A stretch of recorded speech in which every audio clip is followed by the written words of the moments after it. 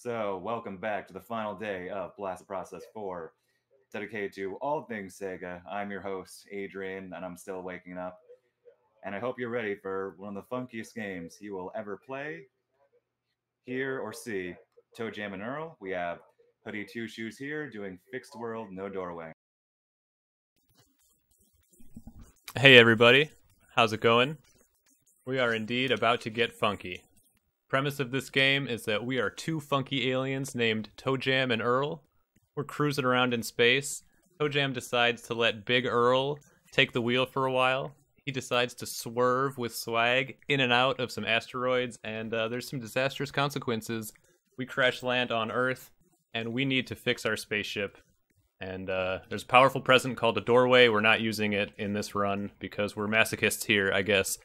Um, so yeah, this uh, this run has a lot of RNG in it. It's pretty uh, can be potentially dicey, but we're ready for anything. So I am ready for whenever the timer uh, gets counted down.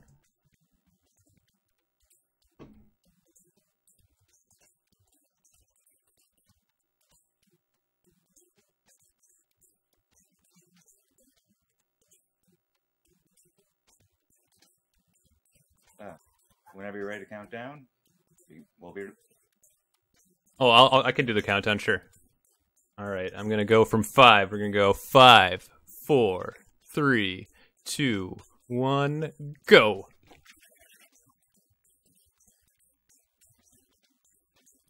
We are off. So there's a doorway on level one that I just skipped already because I'm not grabbing it. Um, doorways can take you to any random point that's a, that's a walkable terrain in a level. So going through a doorway gives you the potential for um like you want to find a ship piece or you want to find the end of a level, you can go through a doorway and potentially end up directly where you want to be. So um, they're very powerful items, and the whole point of this speedrun is that we're going to have to traverse the whole game without getting one of those real lucky put you exactly where you want. We have to traverse the whole area. Look at that guy getting in my way. And so that most of the run is pretty much the same as the any percent run. Um, I will highlight differences um, as I remember them as we get to them. Um, but most of these levels are going to be the same as they are in the any percent run.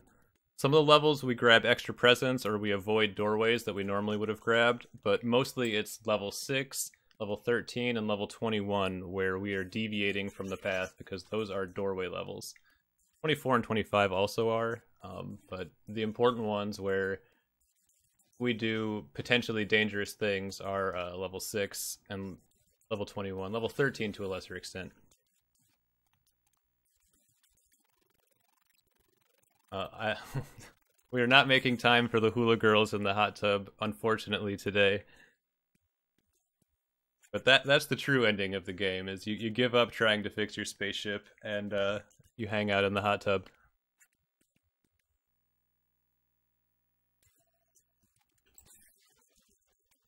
So there's a doorway I'm just bypassing right there, making sure I don't grab it so I don't mess up my menu.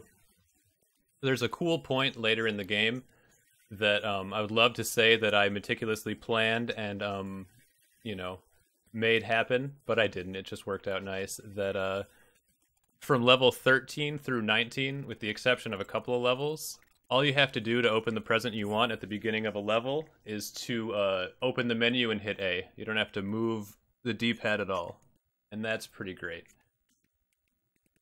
There is a difference between ToeJam and Earl. ToeJam moves faster when you're walking than Earl does. Uh, Earl has more life, but it ends up not mattering that much because moving faster means you get hit by the Earthlings way less, and uh, getting hit is what loses life. So it turns out even if you have a little bit more life, if you get hit a lot more, you die more. So that's kind of the way it goes. Here's a deviation from the any percent run. I'm grabbing that extra pair of rocket skates, which puts us in danger getting mauled by that mailbox monster. But um, I can't tell you exactly how you avoid the mailbox monster there. My my best.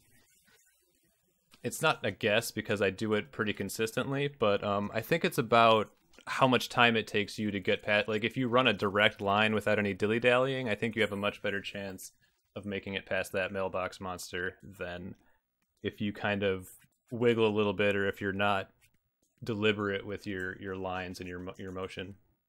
So here's the first dicey level. We're going to hope for the best.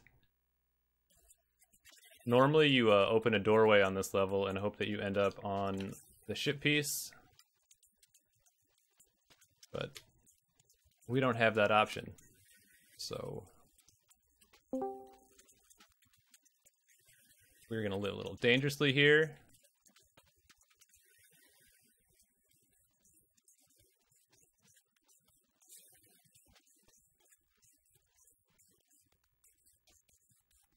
And we did it. No disasters. The first hurdle is cleared.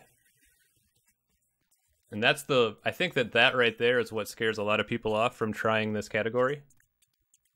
Is uh the tight rocket skates movement on some of those skinny pathways that is required. And I say it a lot and sometimes that, you know, maybe it's wrong, but I don't think it's that bad. You just got to learn where you need to be and you just practice it's like anything you just you practice and it, it gets to be not that scary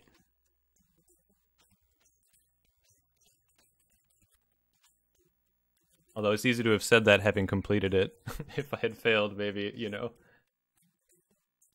wouldn't have uh words would not have been as powerful so this is a pretty straightforward level you just gotta fly straight down there is a way to kind of glitch through the L. Oh my, we're gonna waste a little time here to not get tornadoed.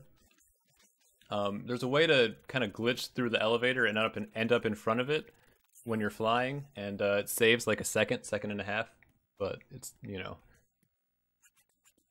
it's hard to do, and I don't know exactly how to replicate it over and over again. But in my PB, the current world record, there is a glitch through the elevator with the rockets or the the Icarus wings on level seven. Here we are avoiding another doorway right there, that green present with the red ribbon. There's a bunch of ways you can go in this level. Any level where you use rocket skates, and like, you see how I had a little bit of time at the end there? Uh, the rocket skates have a set duration that they last. I can't just end them early. I have to, I have to endure the whole duration of the skates. So, um, there's a lot of paths you can take in level 8 particularly. I just use that one because I've done it a whole lot of times from the any percent run. There is a dollar here that I will grab and is important later because I'm going to buy a pair of Icarus wings.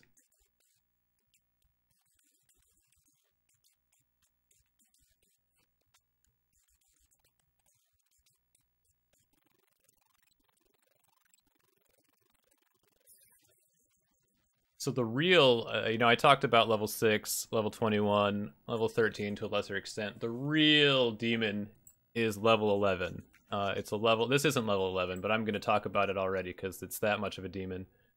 Level 11 is populated entirely by hula girls and moles, and uh, hula girls can force me to freeze and dance where I am, and it stops me from moving, which is bad in a speed run. But worse than that, the moles are an enemy that will steal your presents, and the worst thing that could happen to me in this speed run is to have a have my presents be stolen because that's how I go fast. That's how I show you how to do the levels quickly is with presents. And if I lose them, I won't be able to do that and that'll make me feel bad. So we are hoping for the best on level 11 here. Losing time to the hula girls, no big deal. We're not that worried about it right now. But the moles are our mortal enemies at this point, and uh, it's not really up to me, you know. Not really up to me. We're gonna do our best. In a disaster, I'm gonna try to drop all my presents and uh, waste a bunch of time. Normally, I would like to see an Earthling here at the top, so I can. Oh, okay, yeah, we're in trouble here. So I would would have loved to skip that Poindexter animation, but um, I'm just happy to avoid the moles and not get hula girled and have my present stolen. So the the name of the game on this level for the marathon is don't lose presents. Oh, and sometimes there's a mole that hides right down here by the elevator. Okay. Made it past 11. Now on level 12, sometimes there's like three moles right by the elevator waiting to try to grab you. That is our next point of concern. but losing, well, I lost like six seconds there on level 11. That's not a big deal. Nothing to worry about.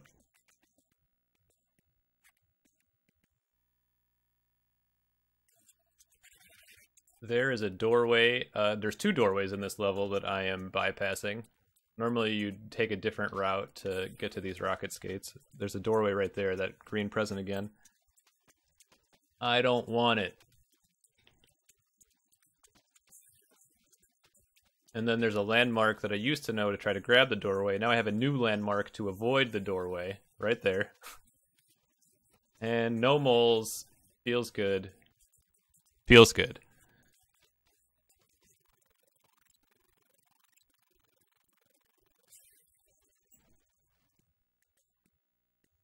Level 13 used to be a doorway level. Um, you would immediately open up high tops, open up a doorway, and hope to end up on it's sand, but it's cheese. You know, they might call it sand, but everybody knows that it's cheese. But here, we don't have that option.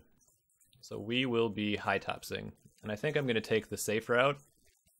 I can jump diagonally here to save some time, but I'm not interested in making the mistake that makes me feel bad. So let's not do it.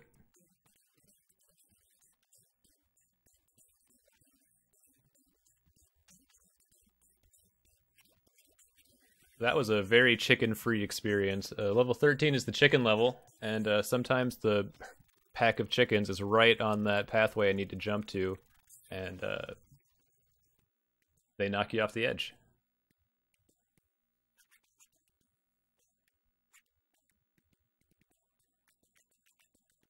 So like I said, 13 starts the levels where I, I just all I had to do was open the menu and then hit A on 13. Oh, same thing here. All you have to do is open the menu and hit A, and your skates are there. Level 15 also. 16 you're still using the high tops from 15, and 17 you open the Icarus wings, but 18 and 19 are also just open the menu. Oops. Oh, that boogeyman is what, yeah. Uh, we hope not for the RNG. We're hoping for good things here.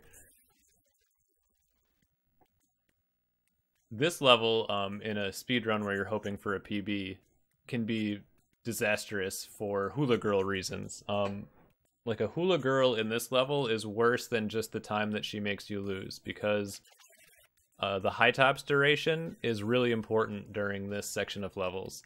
Um, and if you get hula girled, you're standing still and your high tops duration is depleting while you're not moving. And uh, like you want to have the high tops all the way through the end of 16 and into the beginning of 17. And so if you get hula girled, it's not only like say you get hula girled for four seconds on level 15. You're losing more than four seconds of time because um, not only are you losing those four seconds, but then you're going to be walking during one of the next levels where you normally wouldn't be walking. So you're going to lose the time from the walking in addition to the time that the hula girl cost you. So it like it's like compound interest. Really sucks. And we are fortunate that that hula girl I, I ran by didn't didn't grab me.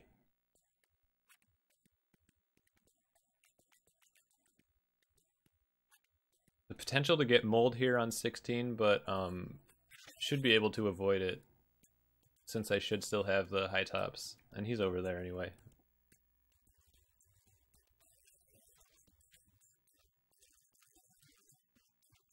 Like oftentimes there's a mole right here as it as that stuff reveals at the top of the screen and you don't have a lot of time to react.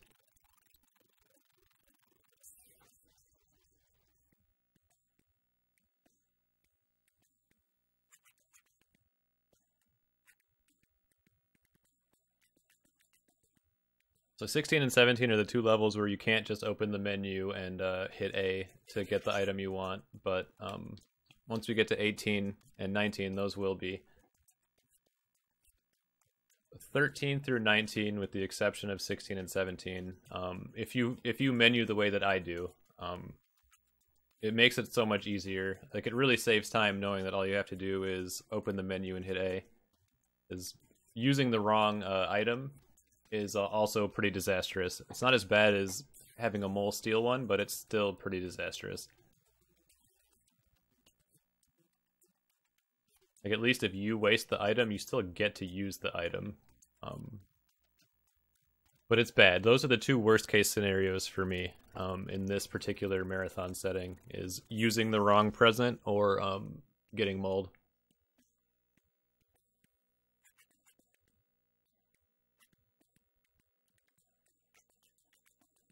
And a mole can take up to three items, yeah.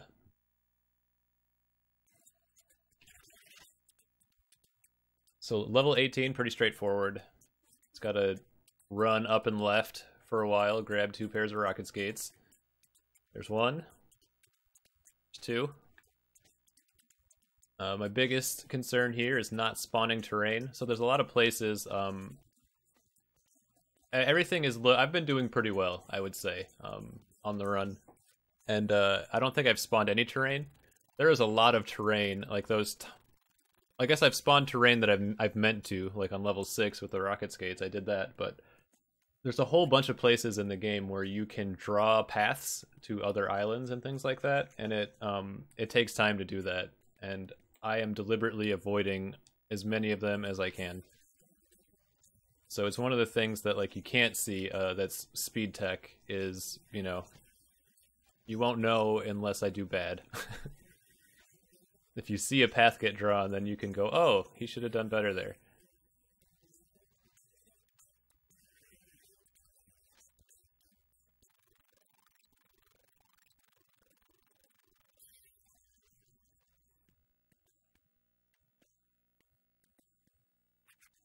All right.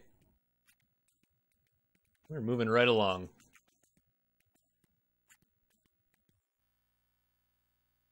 This is down one for the rocket skates. Yep.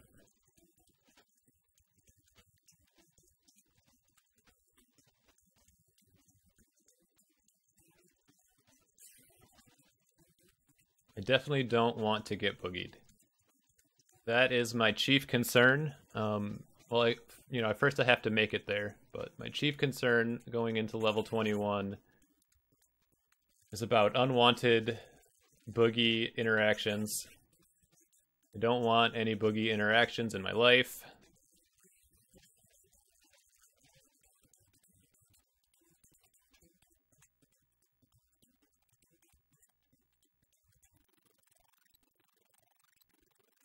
So level 21 is another of the really important doorway levels um, in the any percent run. And here we are again doing some dicey rocket skate stuff to um, to try to go fast without doorways. So we are hoping for please no boogie. No boogie, no whammy, no boogie, no whammy. And you'll see what I mean when we get there. If there's a boogeyman in the way, there's not much that can be done.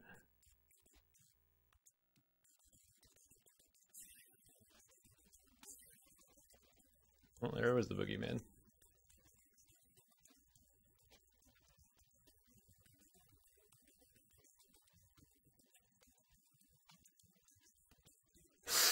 There was a boogeyman there. There was a boogeyman there. What can you do? What can you do? Please don't knock me off again, Mr. Van. What can you do? There was a boogeyman there. Oh, we are in trouble here. I didn't even grab the extra Icarus wings. Unfortunate. Well, that was pretty seamless until then. I did my best. But the boogeyman was in the one spot he couldn't be.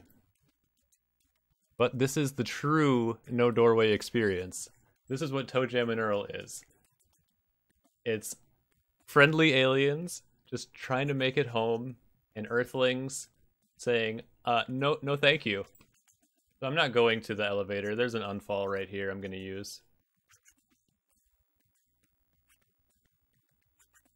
Yeah, there was another doorway there in case I was interested in using it. We're just going to go here, we're going to get the high tops, and we're going to make it through this.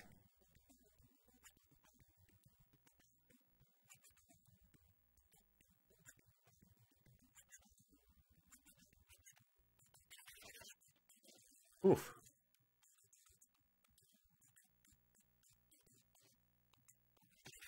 Why's it gotta be like this?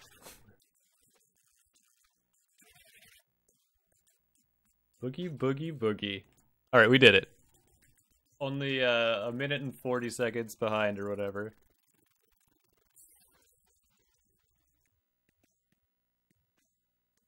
On to level 22. This casually is uh, one of the harder levels to stay alive on because it is populated with ice cream trucks. Oop, that's fine. Those Icarus wings were unnecessary, so I didn't actually waste a present.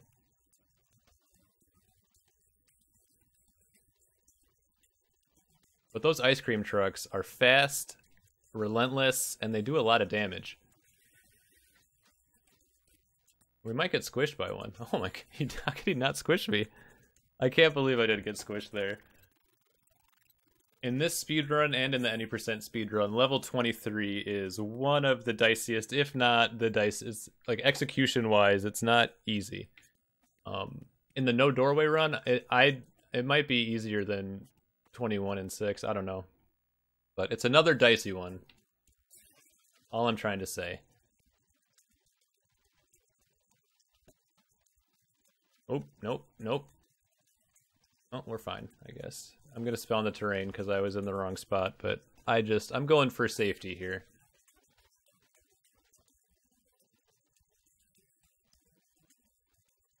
Woof! We went right through that. If he had knocked me off the path, I might have fallen off. I would have felt bad again. It's hard to do the turnaround in the tight manner that I did it after grabbing the ship piece. Um, it's not as easy as it looks to do that quick turnaround. But from here on out, unless there's something like there could be a boogeyman on that little island, I'm gonna feel bad. But um, we should be pretty safe from falling. We might get hula girled. That's expected. That was expected. that was a long one. No boogie, no boogie? Oh, we did it, no boogie. How about you, no boogie? No boogie. Look at that.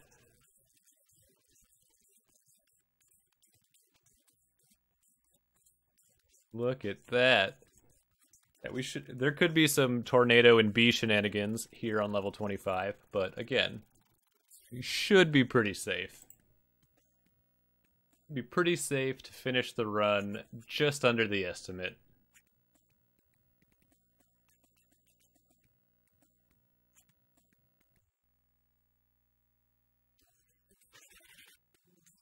All right. No, you don't. You monster. That was no. No! Oh, man. Welcome to ToeJam and Earl, friends.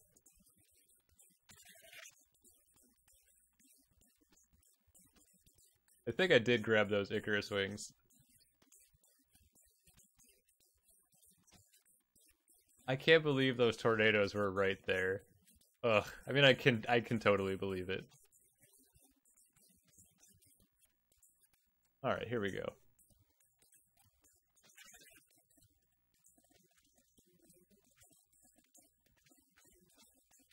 We might still fit. Oh, we're gonna be a little like a, we're gonna be seconds over the estimate. It's gonna be unfortunate. Bad Earthling RNG. The tornadoes are technically Earthlings. Why they're gonna be in the same spot too? They should move. Uh, maybe they won't move. No, they're gonna still be there, aren't they? I'm gonna spawn the terrain because I don't want to be in the middle. I'm scared. I'm scared of these tornadoes. Well, they're not even here anymore. Look at that, they moved. Those jerks. Alright, it's fine. The time is gonna end when I run into this last ship piece here. As soon as I hit it, um, the time is over. Right now. Oh, look at that. It's still under the estimate as far as my count.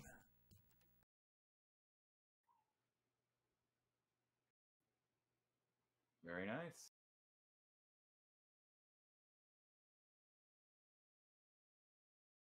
Oh yeah, like eight seconds under the estimate. Perfectly timed.